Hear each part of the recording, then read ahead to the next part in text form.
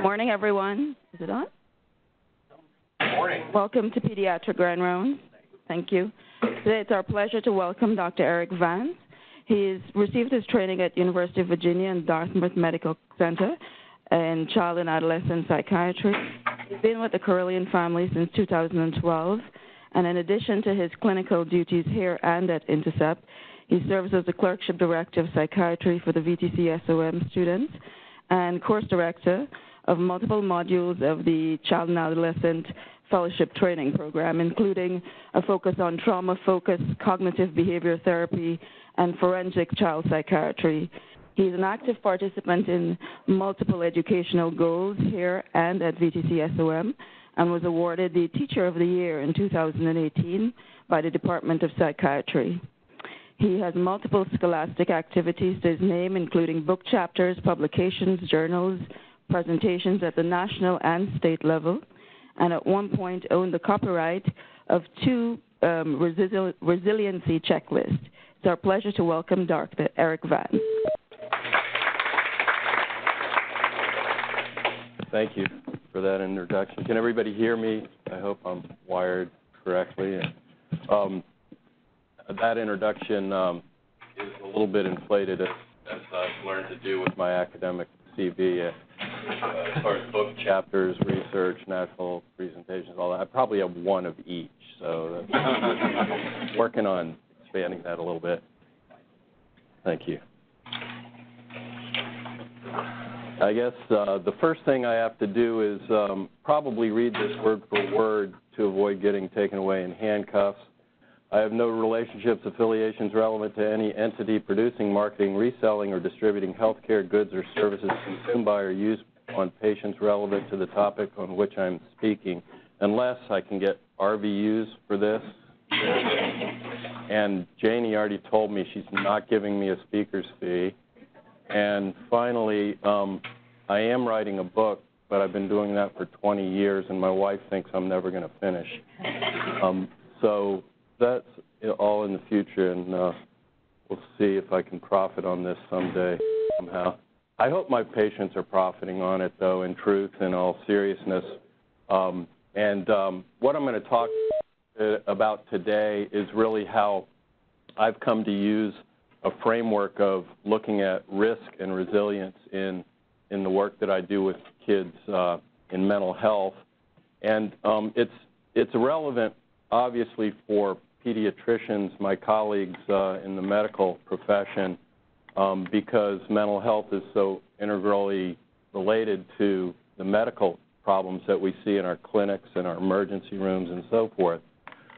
But also, um, in, in the fairly recent past, um, there was a transition of knowledge um, about risk factors that we used to kind of own in psychiatry, psychology, and sociology. We used to talk about psychosocial risk factors um, that were in our society and in families that could lead to mental illness and substance abuse and all the bad sort of psychosocial outcomes.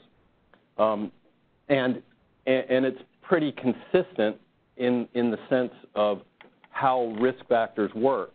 And, and when, when the, the researchers on risk factors have looked at how they work, there's sort of this fairly consistent finding across a, a number of studies and, and fields that uh, is almost a remarkable kind of um, uh, universal uh, phenomenon whereby it seems that when people grow up with one, two, or three, four risk factors in their lives, there's sort of this um, tolerance of, of those risk factors up to a certain point, and then there's an exponential um, increase in the odds of what's called poor outcome, what we'll just call poor outcome for now.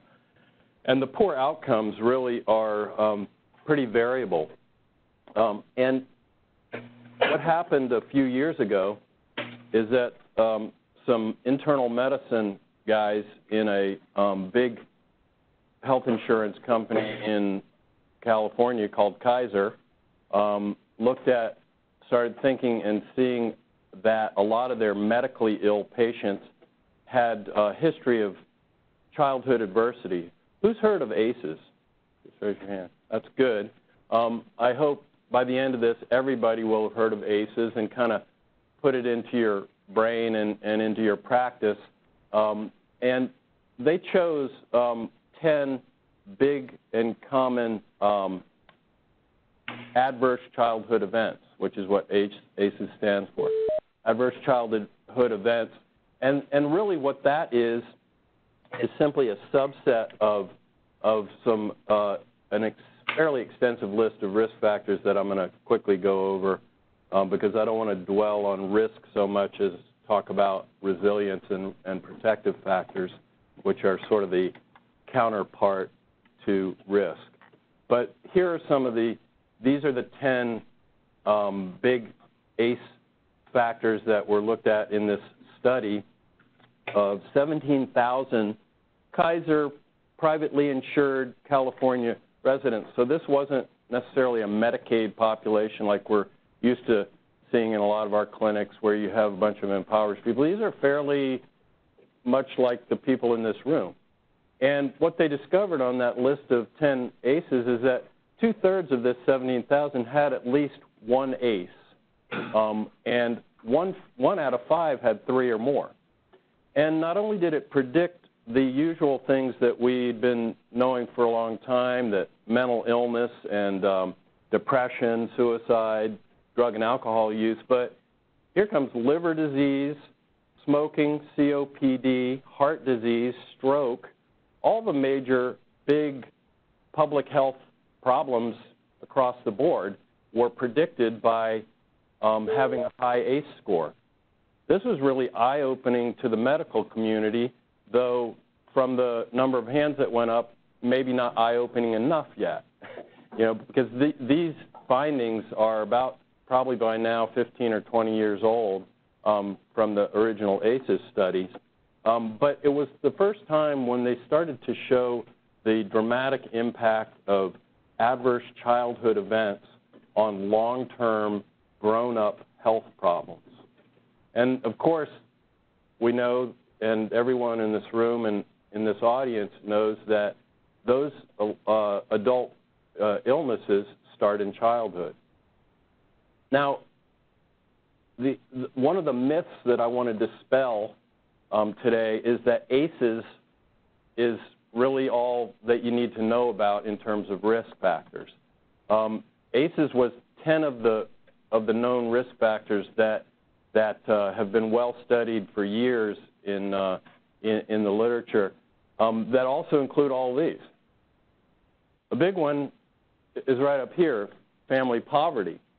And if you think about family poverty, things like frequent moves, poor attachment to a, a, a caregiver, other traumas, all the various traumas that we see in, in the kids that we work with, um, stress in utero, complications of pregnancy, having a risk temperament, struggling with a childhood chronic medical illness or a early behavioral disorder or developmental delays, any of those other risk factors simply compound and add to whatever your ACEs are. So, so it's really important to be aware of all of these things. And if you start looking at um, the kids and families that come to, say, our clinics who are, are Medicaid folks, automatically they have poverty, right?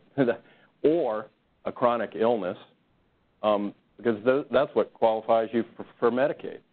And you start digging deeper, and pretty soon you have two or three and four, five risk factors, and up you go to the bad outcomes, and that might be why they're in our in our clinic.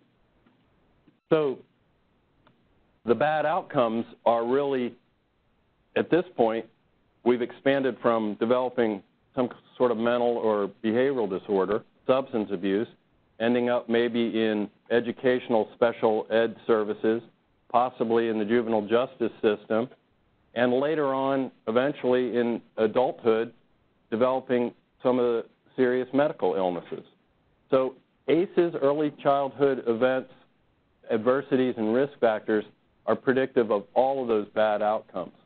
And the somewhat tricky but um, I guess intellectually satisfying thing is it doesn't so much matter which risk factor, It matters how many.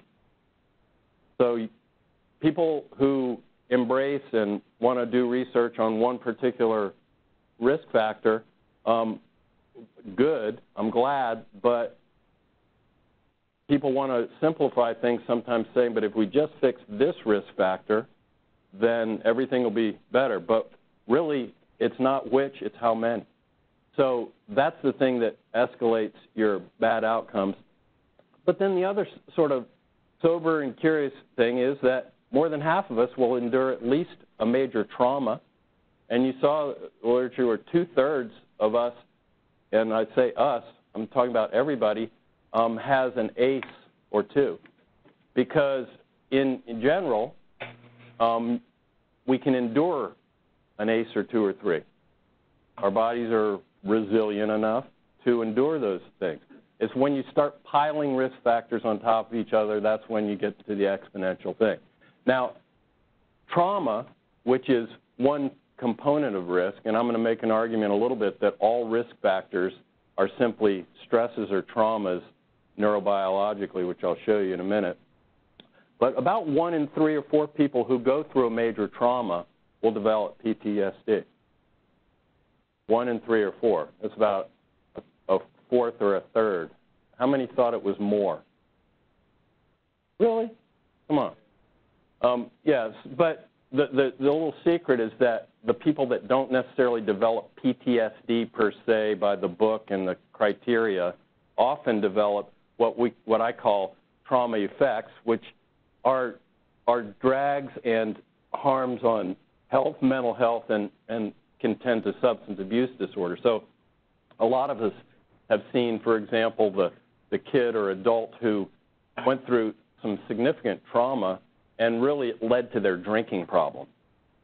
And now they show up with a drinking problem. And really, if you get to the heart of what triggered and started their drinking problem, it started with self medicating when they found out that drinking could make them stop thinking about their trauma briefly and they develop alcoholism, liver disease, and so on and so forth. So they don't necessarily have PTSD per se, but they have alcoholism and all the sequelae from that and that's how trauma works because it's a lot more um, uh, diverse in its effects than just PTSD. So here's the, the stress response in the brain. This is the only thing that you're going to get tested on at the end of this uh, thing. So you memorize this slide if you can. I mean, no, I'm just kidding. But the um, stress response is pretty standard across all of those um, risk factors, right? Because risk creates stress. And the way stress is processed in the brain is primarily initially through the thalamus, which is the waste station of all of our sensory input. And whenever we sense danger or uncertainty or, or uh, the potential for danger, it goes hot, uh, fast track to the amygdala, which is the sort of the emergency response center, which senses danger, crosstalks a little bit with the hippocampus, which encourages us to calm down if the context is safe after all. But if, if this is a go-ahead, then the amygdala calls on all the emergency response centers of the brain, which include everything from a defensive startle to sympathetic nervous system activation with adrenaline and norepinephrine and all the, uh, the emergency uh, center releases of uh, cortisol releasing factor, which goes over here, releases cortisol, which can be toxic to the hippocampus and kill off uh, hippocampal cells and probably diminish the capacity of the hippocampus to accurately perceive context. So it can't shut down the amygdala as well as it used to before all of the chronic cortisol from chronic stress, which is somewhat different than acute stress. Um, but I don't have to explain the difference between chronic and acute, but in any case of emergency, norepinephrine gets released from certain parts of the brain. Dopamine, which is responsible, we know, for fear, vigilance, and paranoia, if it gets too often elicited, can create this in a chronically stressed person.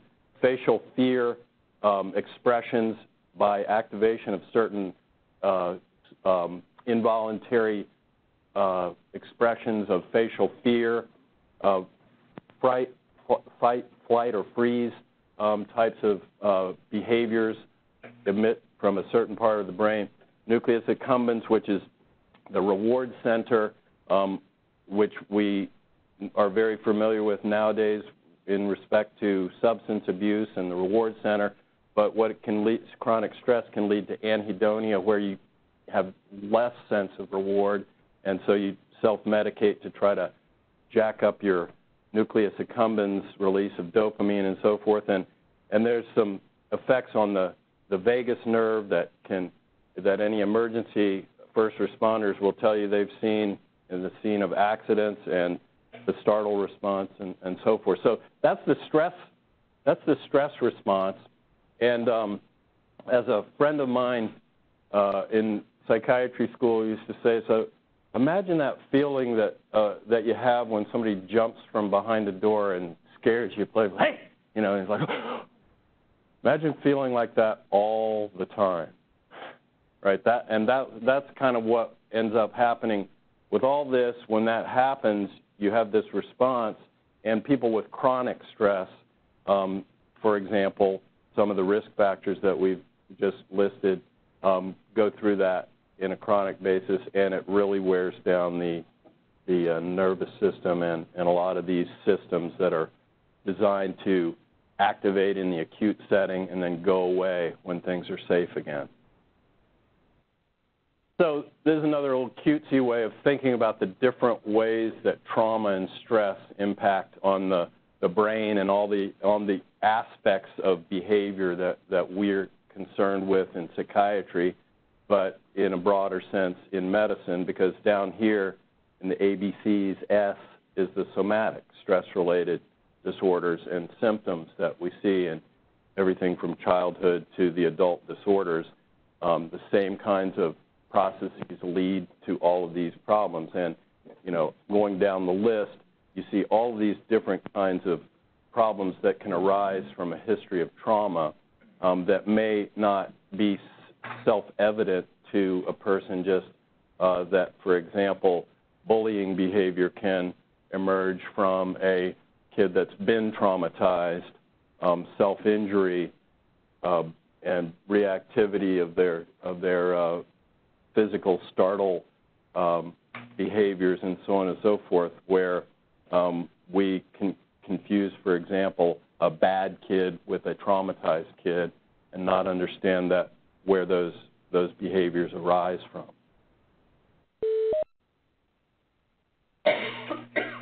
now that you're adequately depressed about the, the uh, um, chronicity and difficulty of the stress problem, I'm going to get to the hopeful part of my lecture, which is, um, and, and, it's the thing that kind of keeps me um, from, I think, burning out um, in my job. Burnout's a big thing these days and I've kind of wondered why why don't I burn out? Um, but I I kind of uh, think what uh, happened to me over time is that uh, I've become more absorbed and interested in sources of resilience and how can you put those into the lives of kids and uh, in their individual way as they come in and out of my office. And of course, you know, it it's inevitable that you sort of begin to reflect on yourself and your own family and so forth, and, and it becomes uh, a little bit more uplifting. Um, but I started getting interested in this in a sort of a cynical way um, back in medical school when um, we were hearing the, the lectures about risk factors for cardiac disease, for example. But then everybody's like, yeah, but what about my grandmother, the 90 year old who sits on their back porch smoking cigarettes and eating bacon for breakfast, and she never had a heart attack? That? You got all the risk factors, you know? And, and so you start wondering, like, what is this whole, the whole risk thing? Is it's of course a, a real thing, but what, you know what's tempering the, the risk? Why why is it that some people don't succumb? And and so then I started seeing this literature on these longitudinal studies of children that grew up in all kinds of different terrible adversities, and um, eh, such as growing up in a family with a parent who's schizophrenic, or growing up in inner city Baltimore, or growing up with the alcoholic or, or drug addicted mom. And it, they would follow these kids all the way from birth to um, adulthood, and they found that at one in three, first of all, this, actually this is this is a community set. One in three of all children, if you go out into Roanoke, are high risk by our definition of exponential. For greater than four or five risk factors makes you automatically high risk. Then the only remaining question is, are you resilient or not? And about one in three of the high risk kids seem to do okay without the bad outcomes that we're talking about. So that leaves about one in nine, one in 10, depending on your math, of, of kids that are resilient, and they usually grow into somewhat resilient, at least relatively resilient. Resilience is relative, right? It's not absolute. There's no silver bullet and there's no magic, and even the most resilient person that you meet, lightning can strike. Um, but relative resilience, when you look at risk factors, and now we're going to look at protective factors, is, is a thing. And the other cool thing about it is when you start looking at these resilient they all look the same. Cross culturally, they've done studies of resilient people. They look similar. They have similar aspects that seem to constitute resilience, much like risk. Risk is the same the world over. So, what are they? Here's the duh moment. All right? These are the protective factors. The protective factors are kind of broken down into a few realms. And if, uh, if you aren't sick of mindfulness yet as a resilience factor, um, let me just tell you, it's not the only resilience factor. Not that it's bad, it's good. Mindfulness meditation is good, but it's not the only protective factor, and it's not the only source of resilience. And a lot of, you know, the, as much as we hear about mindfulness, it's great, and what it what it is a, a component of is one portion of what can constitute resilience in a in a person. And basically, what mindfulness does is it is it helps you with emotional control, dialing down some of that stress um, cascade that I showed you earlier. It helps you dial that down, helps you with emotional control, um, helps with positivity and some things like that. If you do it in a group, it becomes a structured group activity. So yoga, for example, or going to a mindfulness group, you probably get your mindfulness with your emotional control and dialing down your your uh, your brain a little bit, and you also get the benefits of being in a group. But going down sort of area by area, the the sources of resilience for these kids that we've seen who survive adversity seems to be that possibly in any given one they might have had a strong parental attachment where they might have had one risk attachment. They might or might not have had some extended family ties that helped them. They might or might not have had some peers or mentors that helped them even when they had terrible family support.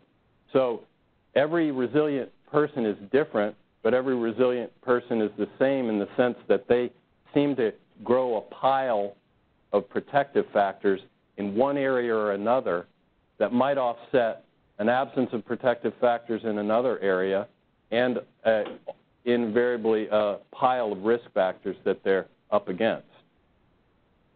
Some things like in the home setting, such as predictability, routines, rituals, and structures that might get put into the place by a, a parent who sort of stands up against the poverty that they're embedded in or the other adversity that they're struggling with, that can be protective.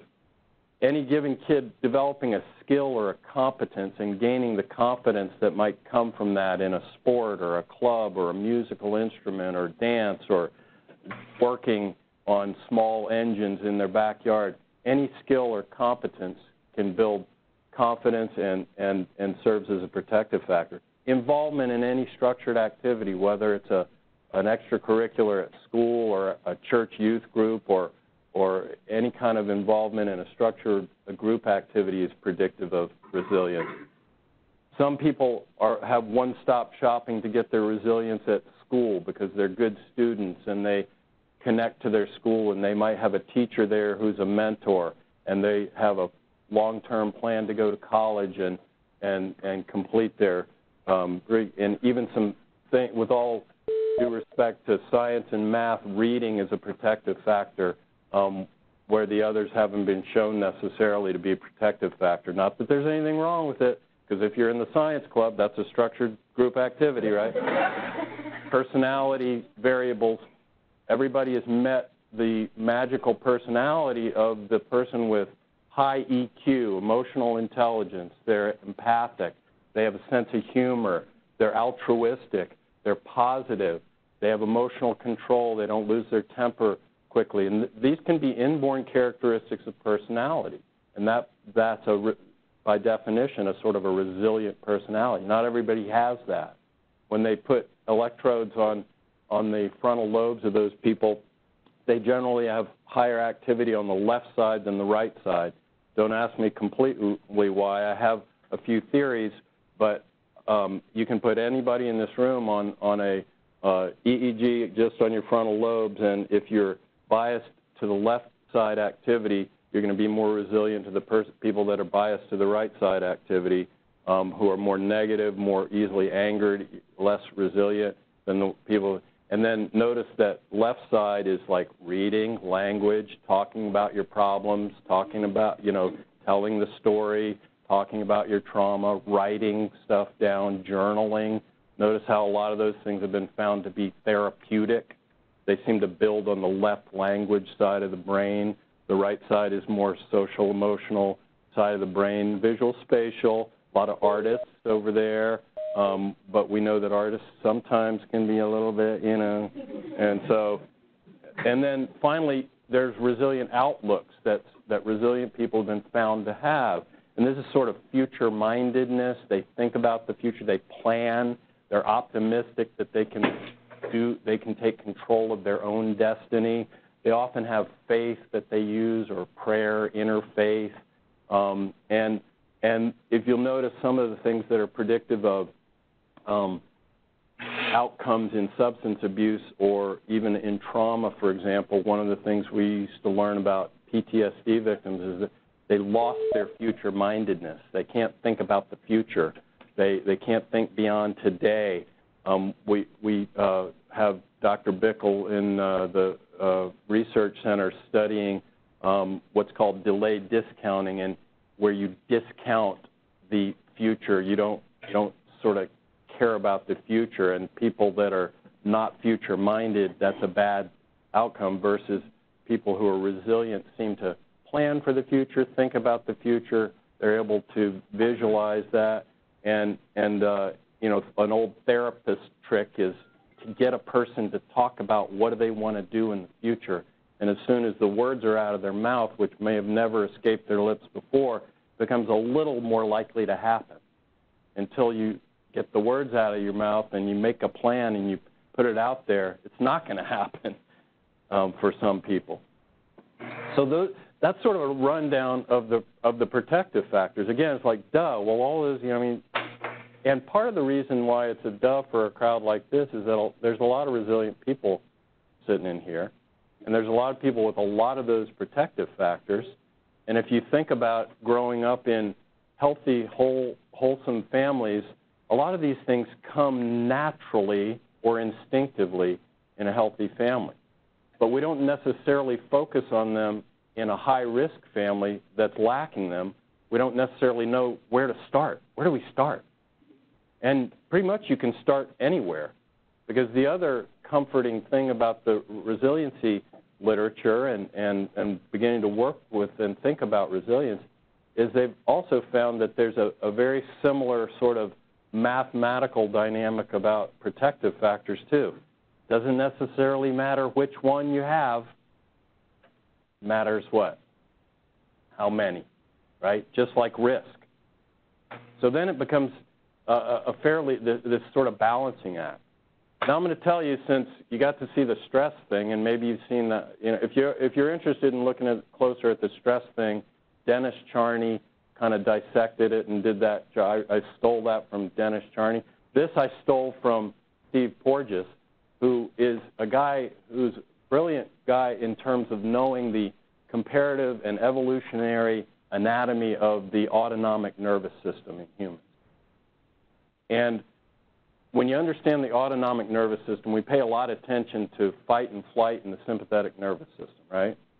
And we do that at our peril because that is ignoring a lot of what's going on in the parasympathetic side of the nervous system, right? Because the parasympathetic nervous system is the counterpoint to the sympathetic nervous system. They kind of balance each other, right?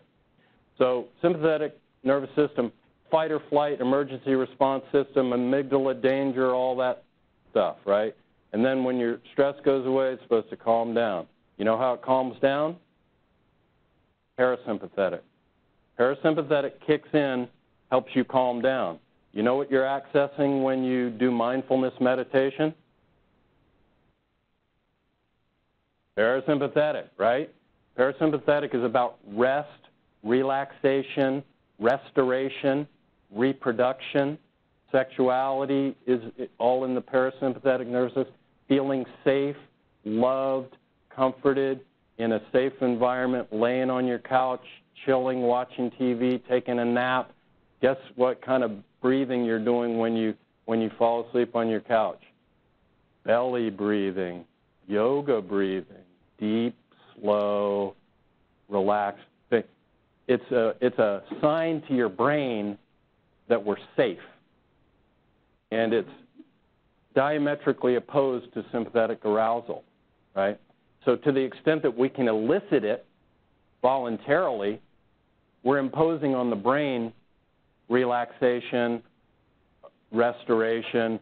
We're getting our brain and body into a state of parasympathetic arousal, which is healthy and health inducing. Your immune system goes, your, your immune uh, modulators go up, and so on and so forth.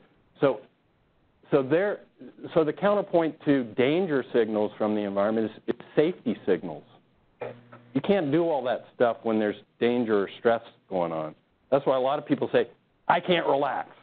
I'm too stressed at work, I just can't relax. Well, the, the trick there is tricking yourself into thinking you're relaxed by doing tricks like slow yoga breathing your body thinks you're relaxed, even though in your brain you know that you still got that stress at work.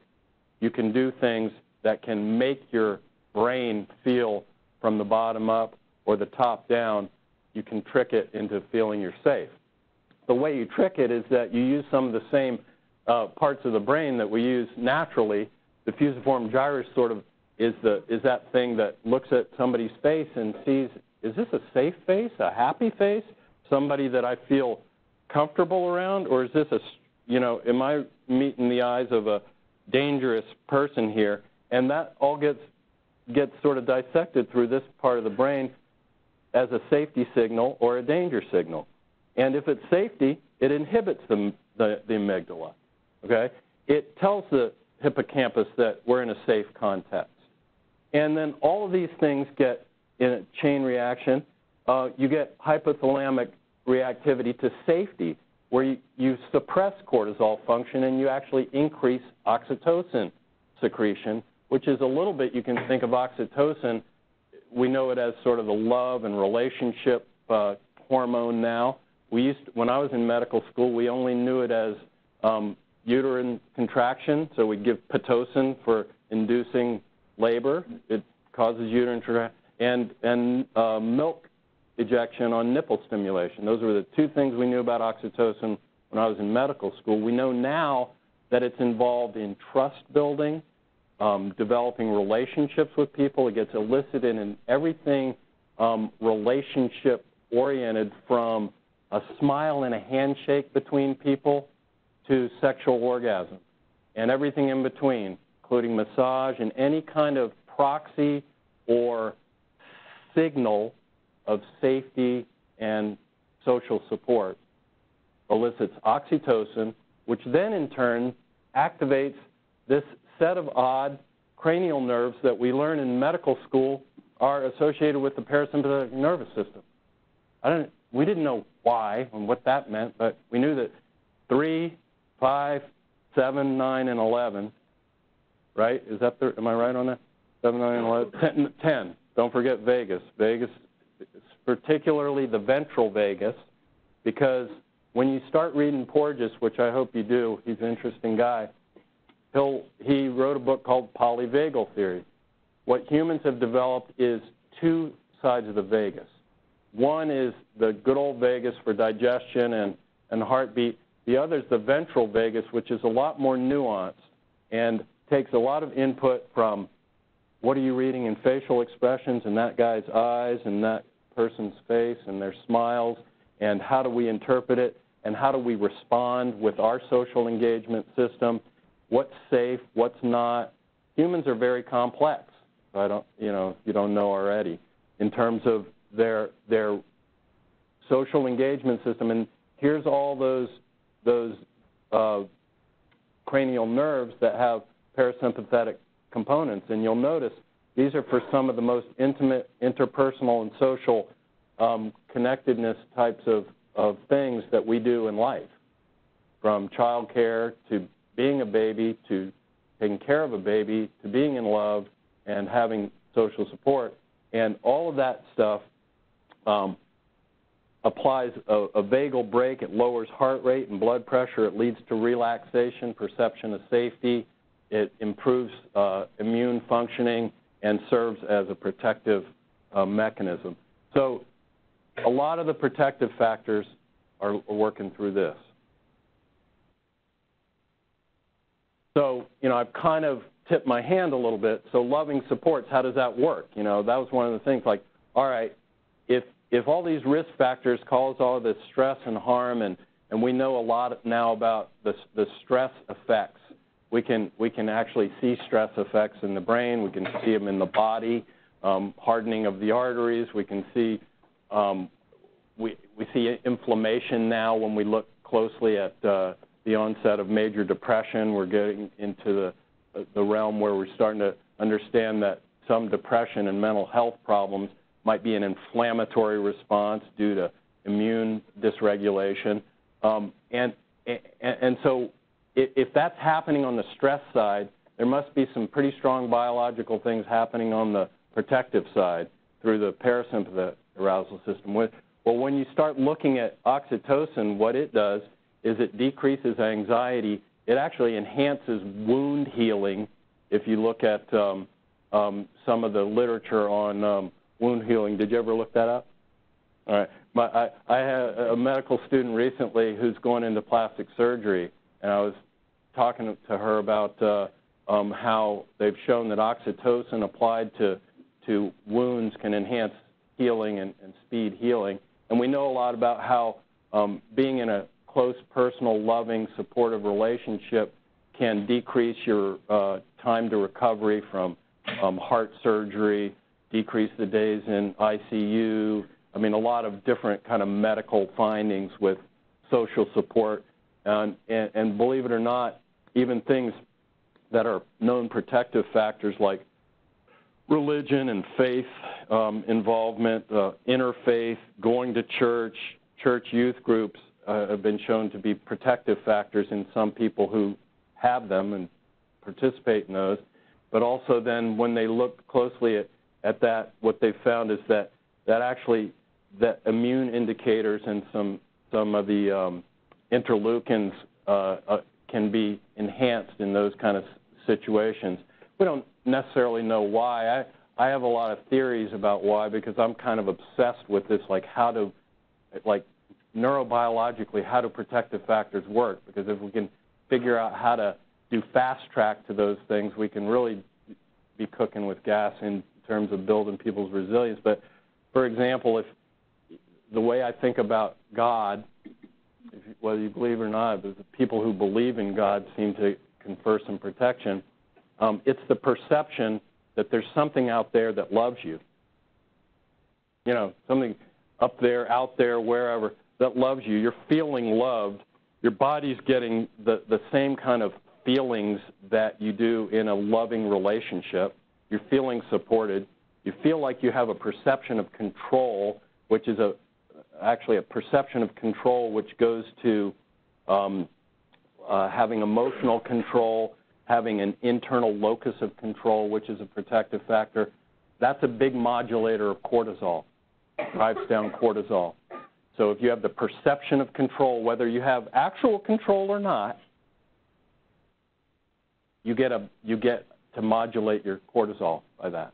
That's why a lot of us have these really neurotic habits that make us feel in control, even though it's kind of stupid, like just to spend all that time arranging your desk or picking weeds out of your garden. It gives you a sense of control, and it brings your cortisol down.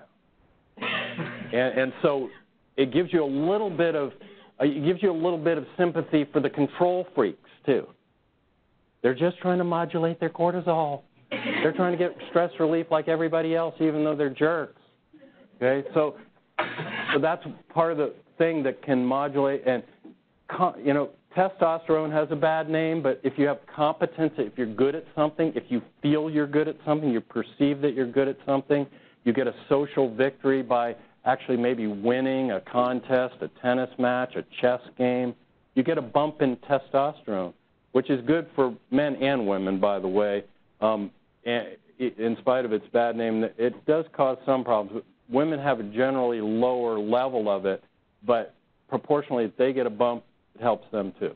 Antidepressant, so so there are going down the list of the individual protective factors and the classes of protective factors there's neurobiologic evidence from a variety of studies that kind of point to some mechanisms that begin to make sense if you tie it all together. That's why it's important to, to do it. So, so it is important to do mindfulness, right? Because you can probably plastically change your brain from right to left brain circuitry by doing regular mindfulness meditation, gives you emotional control. By, by actually reading writing, journaling, we know that that probably builds up the dorsolateral prefrontal cortex on the left side. Um, faith and future mindedness seem to modulate immune supports and, and or immune uh, function. Um, school skills help with problem solving. Problem solving, if you think about, which is a, a, a good problem solving, is a characteristic of resilient people. The better problem solver you can be, the more resilient you're going to be. There's another duh moment, right? But if you think about problem solving, it's the ability to feel a perception of control come what may. I don't care what problems you're, I'm going to be able to solve this. I'm good at that. You have the perception that you're good at it. You actually get some skills at it. It really enables you to get, gain a perception of control over problems that can modulate your cortisol down. People that are cool-headed and kind of mechanistically attack a problem. So the more that you can teach a child, for example, problem solving, you're going to be helping them. I know that I'm out of time now, but just to show you kind of a summary of what we've covered, I, am going to I'm, I'm going to leave some time for discussion and questions. But if you see here, safety versus danger signals going into the brain, either you're getting this stress side or you're getting the protective factor side. And if you think about some of the protective factors, we talked about some of them are fairly cognitive, right? Left versus right brain, cognitive, so future planning, those things dwell on the on the cortex of the brain. They're sort of they're, they're sort of attitudes and thought processes that we can that we can work on maybe or might be blessed to have them somehow in our life and they seem to confer their protection by being able to reach down into the lower trouble-making parts of the brain, the amygdala and the, and the emotional um, limbic system down there, and exert their, their control from top down. But there's also a bunch of protective factors that can be built simply by putting your body through things.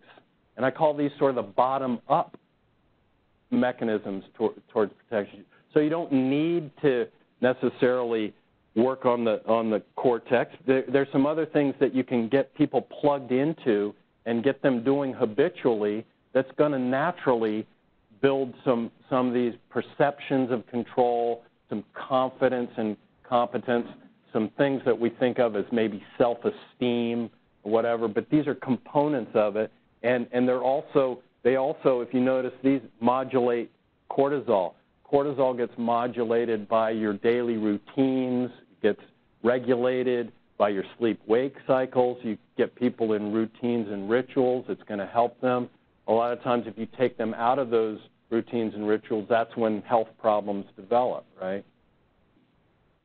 So in a sort of nutshell, it becomes this balancing act between protection and adversity. And it doesn't mean that one is going to prevail over the other. What, what has come to light is that the more risk factors you have, guess what about protective factors? The more you're going to need to balance it out to, to have to avoid some of the, the, the bad outcomes. And there have by now been some studies that uh, that look at building protective factors. We've done some. We did some years ago in a in a population that I worked with that was extremely high risk, and we showed that guess what? If you build protective factors over time, it also predicts better functioning over time. You know, again, it's sort of a duh finding, but we wanted to see whether we take extremely high risk people and actually build protective factors, and it seemed like we could, and we did, and it worked.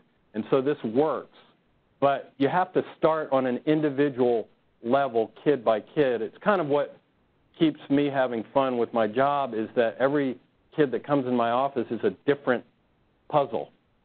They may have some protective factors, but they don't have these others. So if I get busy building these others, then I give them more, and then they got more, and the more they have, the better they are until they're 18 and they're off to the adult world. And good luck. You know, so you try build as much as you can until they're 18, they're out the door. You know, and, and you hope you built enough to maybe tilt the course a little bit better than one. So I'm going to stop now, and, and these are um, kind of uh, different pathways for different people. I'm going to take some questions now, I guess. Oh, uh, yeah, are they? Okay, all right. So I guess this is what we do. Which of the following statements about developmental risk factors is false? Should I read them out? A, no single risk factor inevitably leads to poor life outcomes. True or false? B, increasing numbers of risk factors have an additive effect on leading to poor outcomes. C, increasing numbers of risk factors have an exponential effect on leading to poor outcomes. No, D, no particular risk factor is specific to a particular poor life outcome. D, additive. That's true. It's not additive, it's exponential. Next question. All of the following have been shown to be protective factors in studies of resilient youths except involvement in structured adult supervised group activities. B, having an adult friend outside of one's parents to talk to and get support from, also known as a mentor. C, having good compliance with recommended medical treatments. D, growing up in a home with rules, rituals, and positive discipline.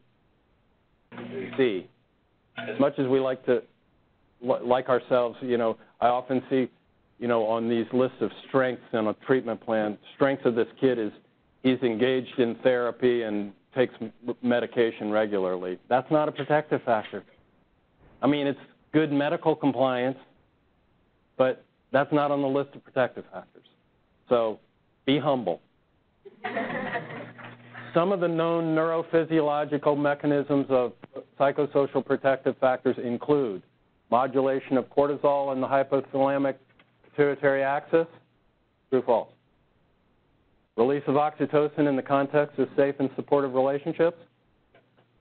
Increase in testosterone during self-esteem boosting activities? D, all of the above. All of the above. That's it. All right. Now, I think we have a few minutes for questions. Yeah. Dr. Vance, thank you. That was fascinating and wonderful. And the first thing I'd like to ask is if you could share those slides with us. I saw many of us taking pictures of them as we went through because they had some really important information on them. I assume Janie can do that for me, right? Yeah. That would be great because I think we could use it all in our lives. Absolutely. Uh, with children and with uh, ourselves and everybody else. Right. The one thing that I didn't see up there that I've seen in some of the literature is self talk So the ability to give yourself messages to calm your brain to do different things, and how that affects neural tracks. Could you speak to that for a little bit? Yeah, I think that I think that's a great point, and and, and you know what the thing that I've been fascinated with is uh, how many protective factors come down to perception.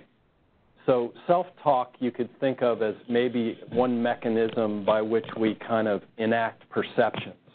You know, we perceive that we have control over a situation. We perceive that we're good at something. You know, when, they've looked at, at resilient people, um, one of the protective factors is the perception of competence. You don't actually have to be good. You just have to think you're good, right? So perception is is and perception really becomes reality, right? And we've known this in psychiatry and psychology forever. You know, psycho-cybernetics, po- power of positive thinking, and, and a lot of that really. So I would think of of self-talk as a tool that can be used, for example, by therapists, which we've done for years. You know, I mean cognitive behavioral therapy is a lot of self-talk, right? And and so what we have now maybe is some way of explaining how is it that self-talk can actually help you. Well, probably it's enhancing your perception of something, of control, of competence, of being loved. So again, like it, it's not so much whether I, I, I see all this love between the parent, the mother and child that comes into my office. If I get that kid alone, and, and, even after the, the mom's been grouchy to him and fussing at him and hollering at him, and, and we think, God, this is emotionally abusive kind of thing. I want to talk to this kid alone, kick the mom out, and I said, Wow, it seems like you and your mom have a lot of conflict. Do you think she really loves you? Oh, yeah, my mom loves me. That's the protective factor not whether or not we judge. Now, it's a separate uh, factor if there's a positive relationship. So, so there's two protective factors in a in, in judging a, a, a parent-child relationship. One is whether it's positive, warm, supportive, and loving with all the oxytocin things. The other is the perception that you're loved or not. So, so that I think that explains itself. Uh, two questions. One is the the differences in the left-right brain, and so is that true for left-handed people as well? That's an excellent question. And and you know that left-right brain thing is is kind of this chronic dilemma because some of it some of it doesn't. But I, don't know the answer to that. I, I just know that here, here's another interesting thing about about it when they looked at um, these Buddhist monks who go into a cave for 10 years and meditate on world peace, compassion, and love, when they come out and they do that same EEG sticker thing, they are so far left, they're off the charts. With the, and, and you can't startle those guys too. You can't like they they don't startle, you know. And and and so there there's these plastic things that happen somehow by maybe mindfulness meditation. The left right, I don't know the answer to that, but that's an excellent question. The other question is, is in terms of the high risk populations, does it work? I would think all of these things you talked about would work in our prison populations. Um, and it would be applicable, and I'm sure you could see efficacy. I wonder about permanence, though. That you know, because unfortunately, some of the features may not be permanent. Yeah. Is there data to suggest that this may make a difference in terms of recidivism reduction and et cetera? Well, you know, that's, that's a complicated question. Um, recidivism um, in a certain portion of, if you're talking about our prison population, recidivism um, is uh, a, a, complicated thing. One thing that we do know is that a lot of uh, antisocial people decrease in their antisocial um, behaviors through the ages through through or through the 40s. Like once they reach a certain age, their antisocial behaviors just sort of fizzle out. Now, a certain subset of those, the sort of psychopathic uh, criminal types, don't don't change. And so, in terms of your permanence versus plast, it's a plasticity question a little bit. And and one thing that that we know is that adults are plastic too. We're finding that out. Even really old adults, even you go into geriatric settings, you can impose some like bottom up kinds of behaviors on geriatric and see brain changes, which is a aha moment because when I was in medical school, you know, once you reached your 20s, flatline and you know, but now we know there's plasticity. We don't know how much plasticity. I, I don't think yet. And, and we do know that if you stop doing that bottom-up stuff with the geriatrics, it, they'll regress back to where they were. So you kind of have to keep doing that, probably that protective factor.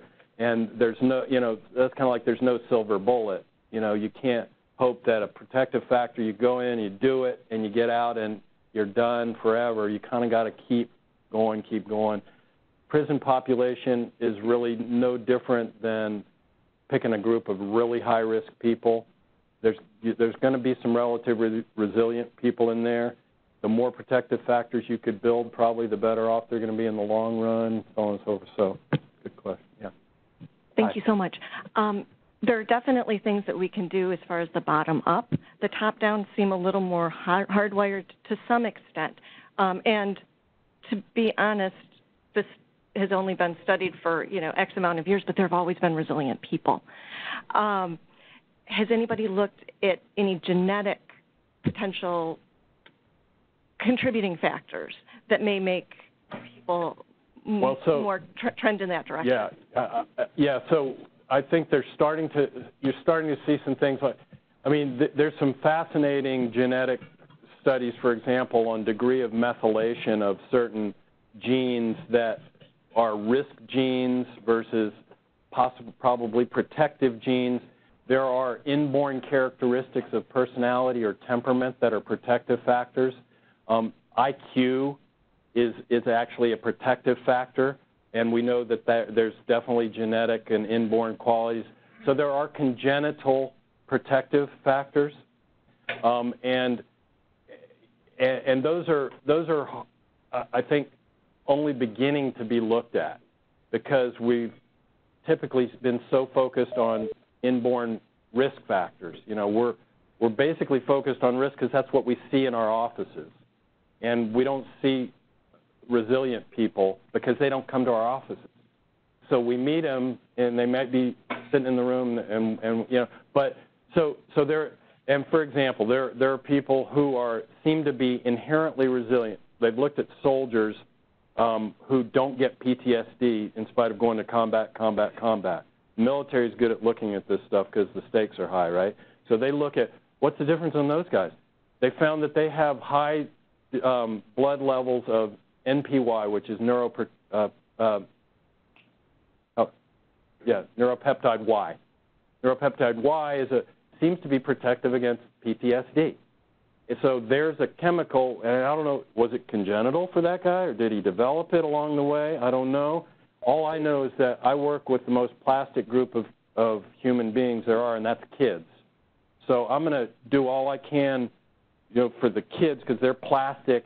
I got time, you know, and, they'll do the most changing, but how much is enough? I don't know. How much is congenital?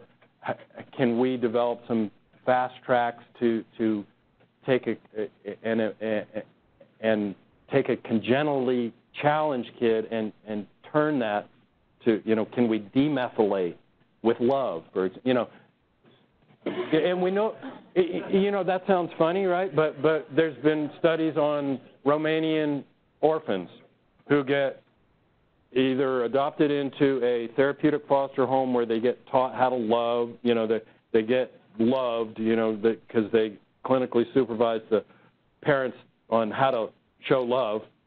And those kids their cortisol regularizes versus the kids who go to just sort of garden variety group homes or stay in the orphanage. And so you know I don't know how much is possible. I don't think we know how much is possible. We know that kids are plastic and we know we can change stuff. We do know that there are some inherently resilient people, naturally resilient.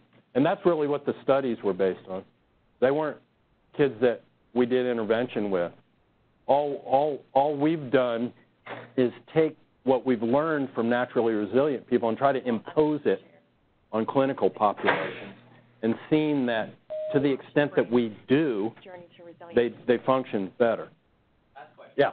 Okay, so hi, I'm Tanya from Page Trauma. Hey, Dr. Vance, Hi. how are you? Hi, Um, just wanted to share quick for those of you that like visual things and YouTube. YouTube has this little video. It's called Brain's Journey to Resilience. It is the cutest little thing. It's about seven and a half minutes long, and it kind of shows you what the, to- the effects of toxic stress. Um, I don't know if anybody has heard of the Roanoke Prevention Alliance and their Resiliency Collective. Um, I know that I'm a member of the professional education piece, and I know Dr. Vance does the Trauma Informed Care Network, which is kind of like a network of counselors who do trauma. And they're trauma informed and they're actually trauma counselors, so they can help kids build the resilience that they need in order to kind of work through it. Thank you, Tanya. Welcome. That shameless plug will cost you, Tanya. All right. I think we're out of time, so thank you very much, sir. For everyone who's on the line, we Hey, apologize. We did not have time to unmute the phones, but you can always email us at outreach at carilionclinic.org, and I can get them to the center. With that, we're going to go ahead and disconnect the phone lines now. Thank you all very much for joining us.